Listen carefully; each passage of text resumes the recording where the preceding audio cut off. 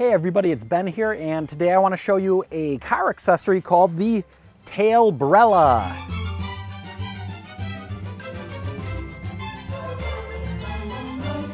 So this is pretty much what you think it is. Basically, it's a shade umbrella, a patio umbrella uh, that mounts onto your car.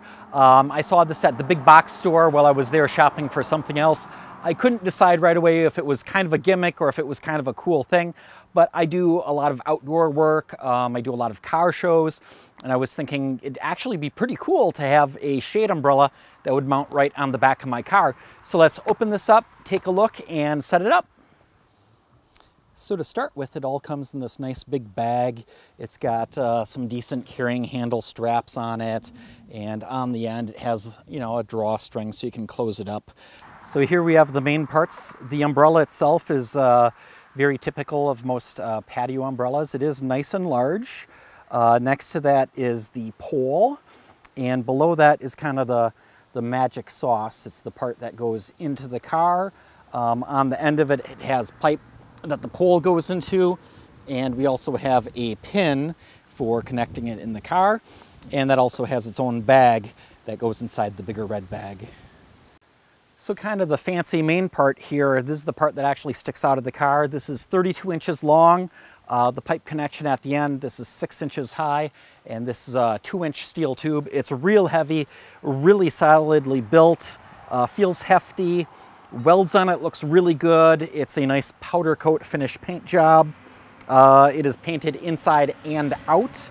And then it has uh, five holes on the end here so that when you slide it into the receiver, you can adjust how far out it sticks. And then on the end with the pipe here, it has uh, three different heights and they're each of the four cardinal directions. So all we have to do is slide this into the receiver on the car.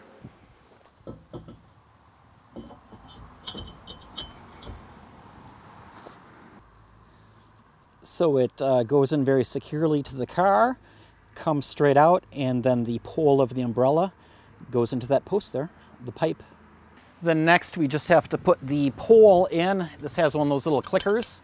We have to push it in to get it down in and that'll click in the first hole. Of course you can push it in, go down further or also rotate it to a different position.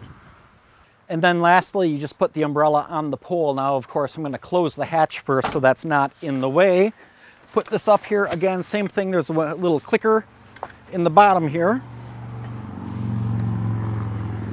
And then inside of the umbrella is a crank, which we crank up.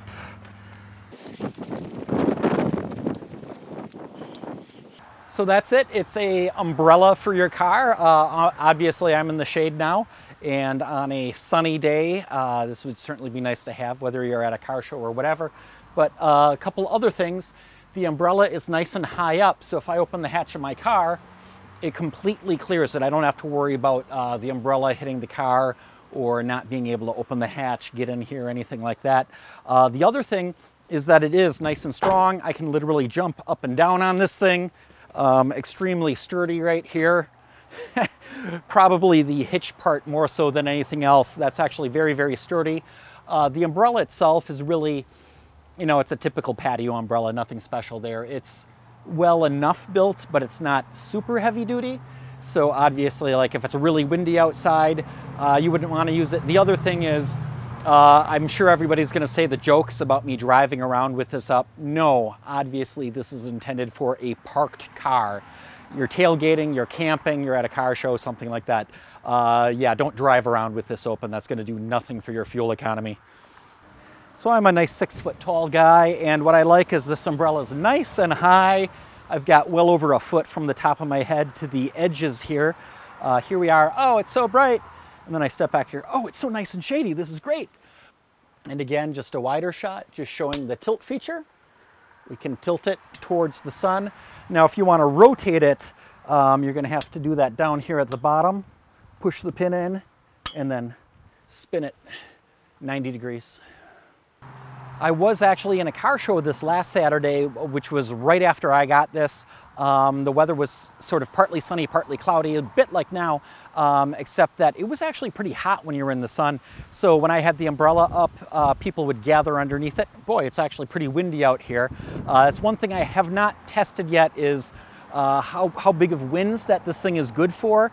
It feels pretty solid, but like any patio umbrella, if there's going to be a storm or it's going to be crazy windy, you know, of course, take it down. Uh, but at the car show, uh, people would gather under it because it was the one shady spot. We were otherwise really just right out in the open. Uh, the other thing that's kind of nice about it is because it attaches to the car, there's no other way that you need to, you know, you don't need to stake it down, you don't need to weight it down. And a lot of times with something like an easy up, especially in a place like a parking lot, you can't stake it. So now you got to bring weights. Um, it's also harder to set up an easy up. Usually you can do it with one person, but it's not easy. It's a lot easier with two. With the umbrella, it's actually really easy for one person to be able to set up and take down.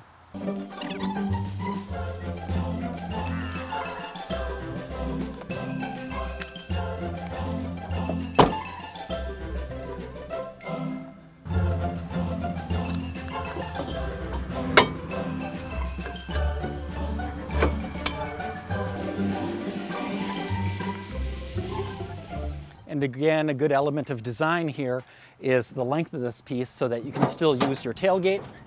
Uh, you don't have to worry about moving the umbrella just to be able to use your truck as a truck.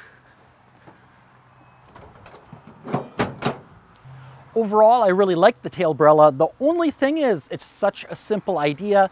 There's absolutely no reason not to do this yourself.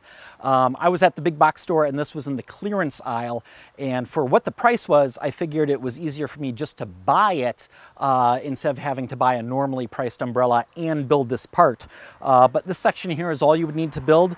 Uh, this is just a two inch square steel tube, uh, about 33 inches long, a flat piece here, and a piece of pipe here that's an inch and a half diameter. Uh, drill a couple of holes through it. So very simple thing. Um, if any of you build one of these, please uh, post a video, post some photos. We'd love to see your home built version of these. Otherwise, uh, you can order these online and at the right time of year, you might be able to find one just on clearance as well. So I hope you like these videos. Please like, comment, subscribe, and until next time, stay charged up.